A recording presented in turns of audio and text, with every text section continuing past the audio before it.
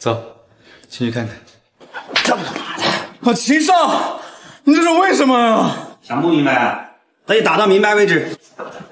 怎么搞成这样啊？楚云，算了吧，再打下去会出人命的。打人的又不是我，跟我说有什么用？秦少，还是先管好你自己吧，尤其是你这张贱嘴。讲讲好挖吗。姓楚的，今天有秦少给你撑腰。是真诚呐！你给我听好了，我还没有这个能力给古天人撑腰，单刀十里，易如反掌，继续打。别打了，我老婆说了，不能找。让他走吧。滚！站住！站住！我说的是滚，用走可出不了这个房间。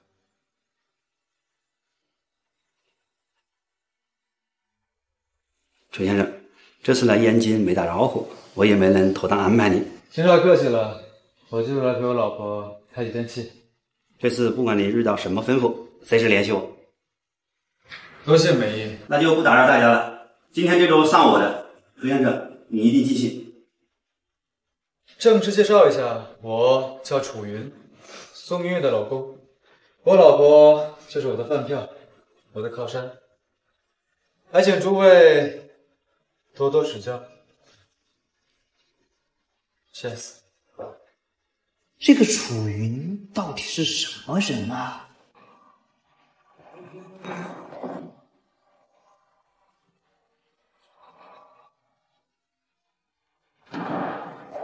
叶姐姐，您这是跟谁置气呢？谁那么大本事，跟叶姐姐是不行？还能有谁？苏明月。让我帮叶姐姐出气，怎么样？第一，不要离我这么近；第二，不要再叫我姐姐；第三，进屋再敢不敲门，我这一拳就再往下挪三寸。记住了。干嘛呀？上门？叔叔坏了！什么坏了？我好不容易出一下门，哎，想着帮你把外卖给拿上来，但是啊人太多了，哎，我拼了老命才挤回来，结果你把外卖挤坏了，哎。看来我家明月还真是好的呀。粉丝太热情了，人太多了，哎，门都给挤爆了，真是水泄不通啊！现在可能想出去都难了。徐总不好了，有一群人把所有粉丝都驱散了，不让进公司了。粉丝驱散了？是啊。走，去看看。走走走走。哎，你是？哦，你是叶氏集团的叶小姐。哎呀，咱们有一次在酒会上面见过。苏明月呢？苏明月呢？哦，苏小姐最近有部戏刚杀青，这两天在家休息呢。哎，叶小姐跟苏小姐认识？让她马上来见我。啊，这……哎，我老婆累了，在家休息，现在没空见。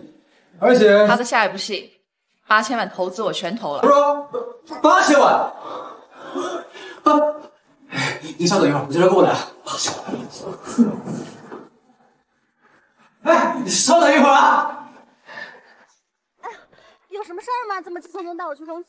八千了，有人投了。这次薛朝清融资还挺快。不是薛朝清，是一个叫叶小姐，你认识吗？叶氏集团的。叶，哦，我高中同学。你同学挺仗义啊。哼，那可不一定。叶小姐，叶小姐，我老婆来了。明月啊，这么多年不见，你这个商业奇才、万里无一的精算师，怎么跑来当戏子了？赚钱而已。想不到我们天之娇女苏大小姐也会有缺钱的时候。苏明月，从上高中开始，你就处处压我一头，学习比我好，追求者也比我多。工作之后，就连在商界的地位，叶小姐。如果你是诚心要来投资的话，那我欢迎你。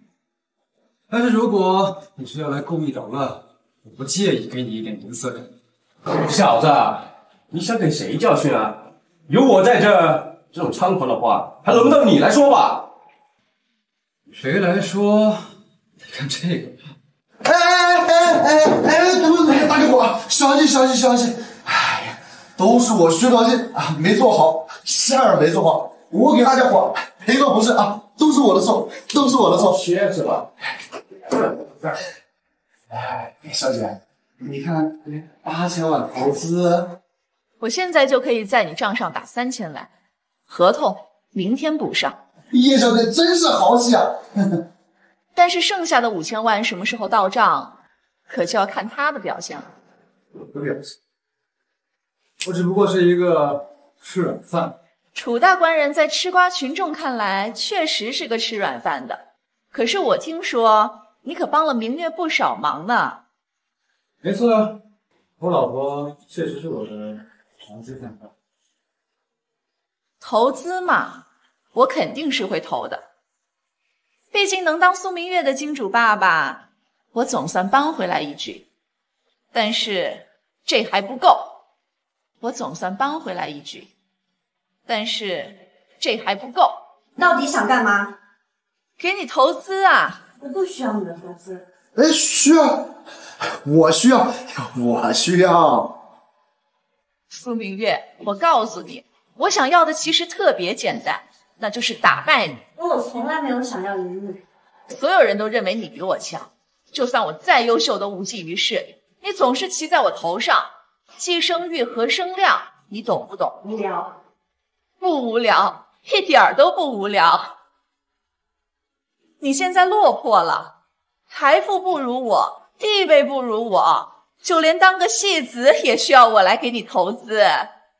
别提我现在有多少了。不过这还不够，因为你现在有个对你很好的男人，而我还没有。我我对你好啊。你给我等着！哎哎，等着我！你等着我哟！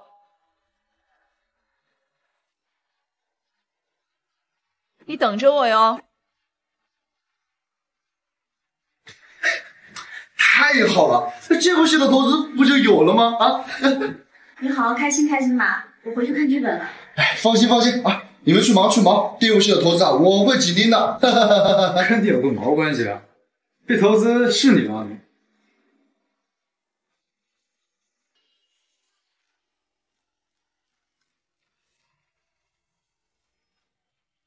唉，有名无实啊！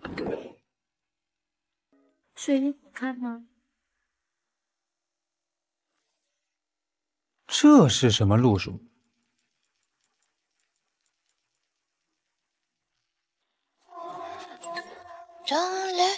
装什么正人君子？我就不信哪只猫不吃腥。